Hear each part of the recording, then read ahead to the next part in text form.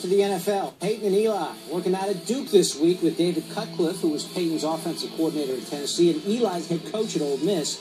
Peyton getting to throw to Wes Welker for the first time, as each guy brought three wide receivers. They also brought their sense of humor, as Chris Mortensen found out.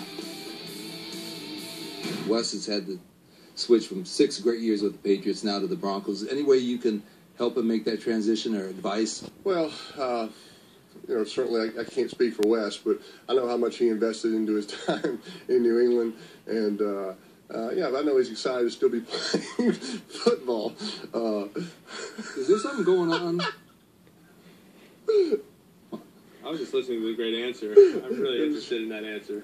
It's the Mannings, true, true pros on and off the field. I'll try to finish if I can. Uh, I, no, no, stay, stay in a two shot. Stay in a two shot, a three shot.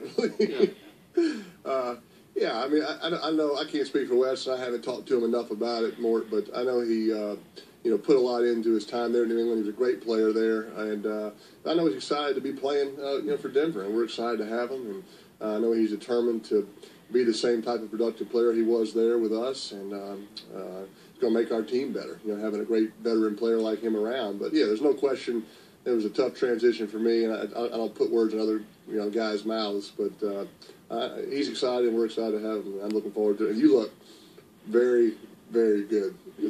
My Super Bowl prediction just went to the Broncos Giants to the Broncos Cowboys for for this coming season.